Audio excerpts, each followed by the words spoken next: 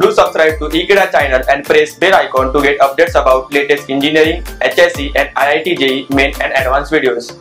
So students, we know that what is rate of reaction. It is nothing but the change in concentration of reactant or change in concentration of product with respect to time. But this rate of reaction are divided or are of two types. The first one is average rate of reaction and the second one is instantaneous rate of reaction. And what are these two? Let us study in detail. So as I have mentioned early, the rate of reaction can be described into two types that is average rate of reaction and instantaneous rate of reaction. So given on the screen, let me elaborate each type very deeply so that you could understand it and it is very much easy to understand. The both are not very difficult as the name are so big but it, are, it is not so much difficult. So let us study one by one.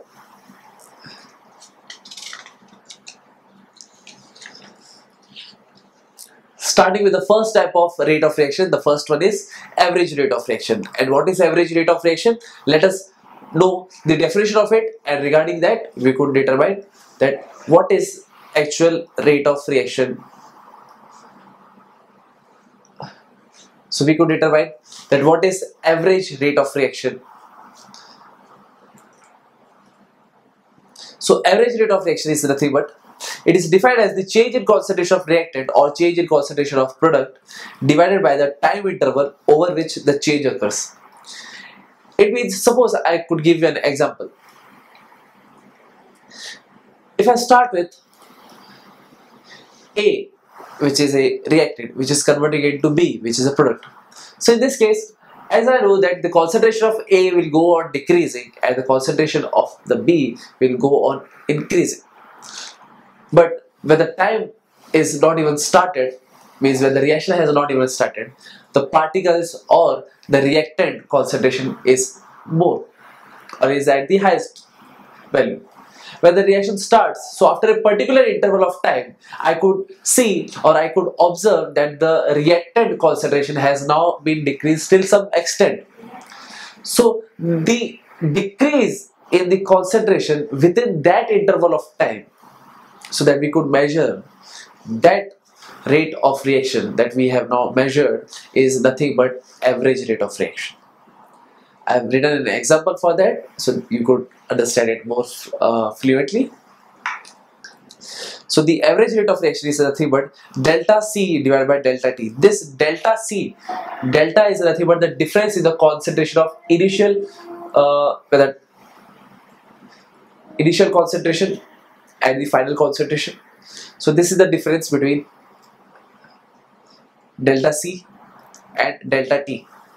So we could determine an average rate of reaction more easily if we have got to know the initial concentration and final concentration of the reactant or uh, product and the initial time of the reactant and the final time of the reactant when it has been proceeded.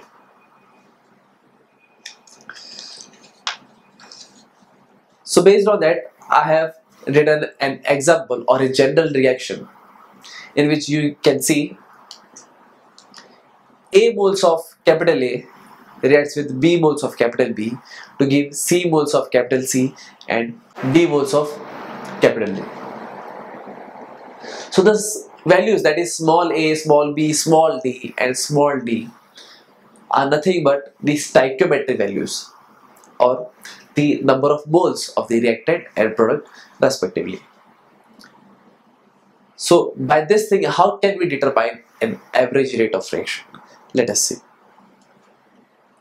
So the average rate of the reaction can be expressed as rate. In this case, this rate means average rate of reaction. It means it is equals to as the number of reactant goes on decreasing and it is the reactant that is related to the stoichiometric value. So therefore since it is decreasing it will be minus 1 upon small a. And since it is an average rate of reaction so the difference is very difference is countable. So therefore I could write delta concentration of A. This square bracket means concentration of A divided by concentration of time. So divided by interval of time. That is final time and the initial time's difference. And again I could equate it by concentration of B also. But the B has stoichiometry of small b. So again since it is present in the reactant side or it is the reactant I could write it as minus because the rate of the decrease in the concentration of reactant is should be denoted in minus. So minus 1 upon b delta p delta again when it comes to c that is for reactant so again the small c is nothing but the stoichiometry value of the product c. And since the rate of reaction for the product increases and the concentration also increases of C so I could write it as plus 1 upon small c delta of C divided by delta of T which would be equal to the concentration of capital D in this case, the capital D is also the product and the concentration of D increases and hence we are writing plus. The stoichiometry can be denoted by 1 upon D delta of D divided by delta of. So this is how can we calculate the average rate of reaction. The most important thing for this reaction to write is that we should represent it by delta. This delta would be a huge difference between the reactant and concentration initially and finally uh, regarding the time also initially time and the final time and for the product also it would be the same and we should maintain a equality between all those reactants and products and we should also remember that the stoichiometry value should be the reciprocal when we write the average rate of reaction. So this was the average rate of reaction that you have observed right now.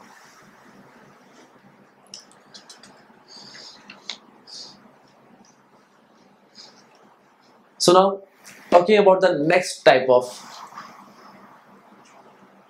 rate of reaction that is instantaneous rate of reaction and what does instantaneous means instantaneous means at a particular time or at a particular moment so we could determine the concentration of a reactant at a particular moment and that process to determine the rate of reaction is known as instantaneous. So therefore we should know the definition of this also. So let us see the definition. The definition says that it is the rate of reaction at a specific instant. The speed of reaction at a specific instant of time is known as instantaneous rate of reaction. And how we are denoting or how we can calculate it let us see.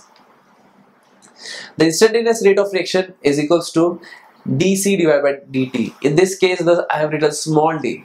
The, the small d is nothing but a small difference between the concentration divided by the small difference a very infinitesimally uh, small difference of the time also or at a particular instant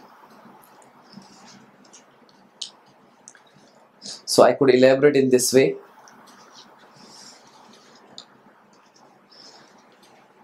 I have given an example in this case where N2 plus 3 times H2 will give you 2 times NH3.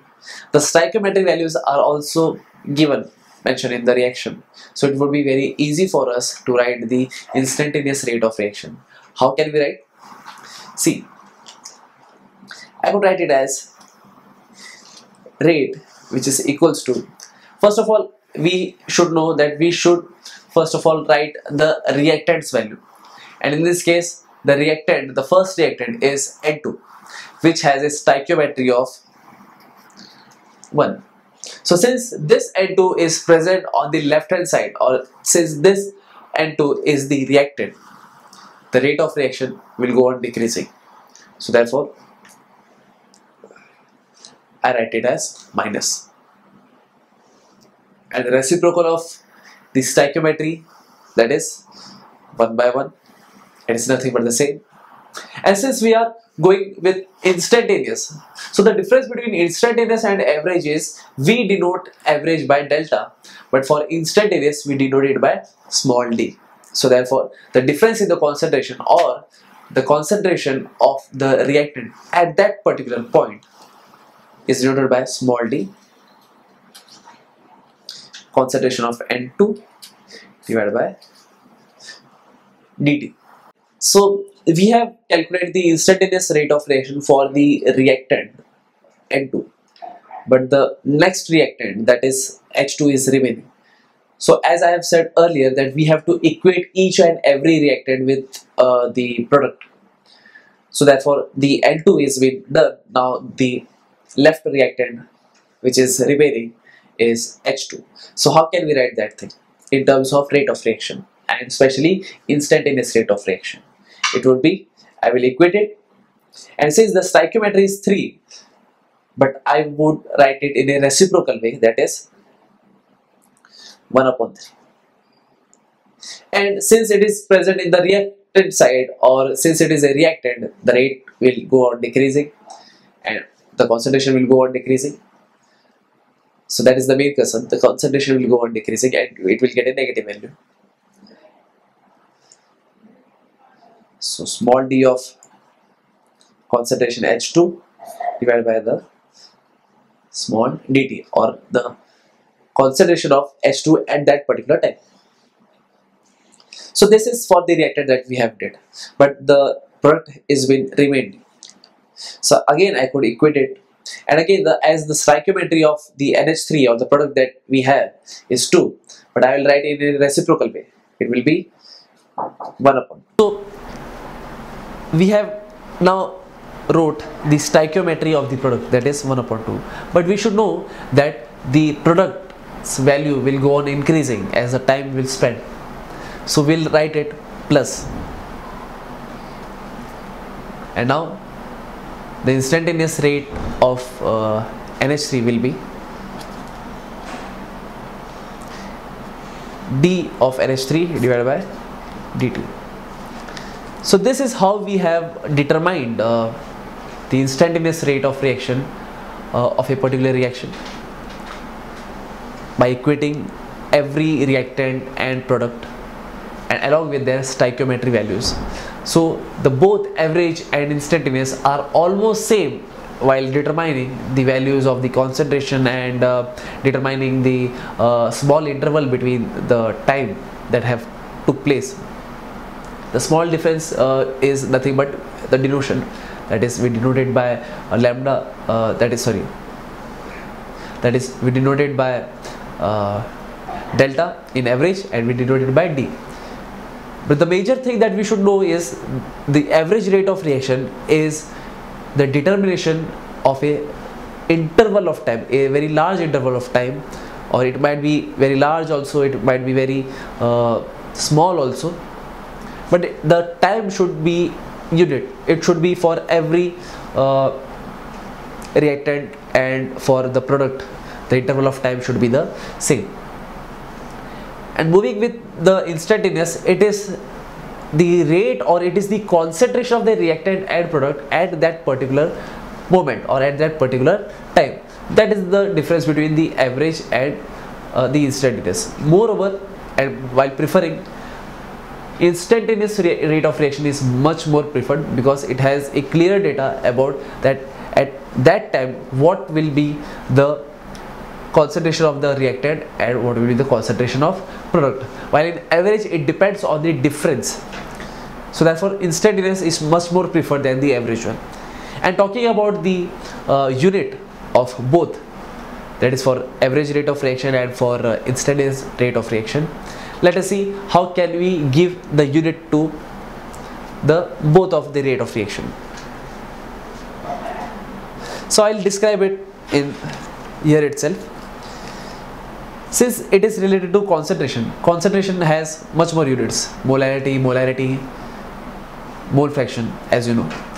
But in this case the concentration is in molarity that is moles per dm cube divided by the time. And in this case the time has a unit of seconds. We could take it as seconds we could take it as minute we could take it as hours also. But usually the unit should be in seconds. So by this we have got to know many much more things like what is average rate of reaction what is instantaneous rate of reaction and what are the unit and what is the difference between average and instantaneous and which rate of reaction is much more preferred. So by this thing we have got a clear idea what is rate of reaction and we have determined that how to write the average rate of reaction and how to write the instantaneous rate for a particular reaction. I hope you have got to know much more idea about this simple topic thank you friends for watching this video. I hope you have liked this video. And please don't forget to subscribe e channel. Thank you so much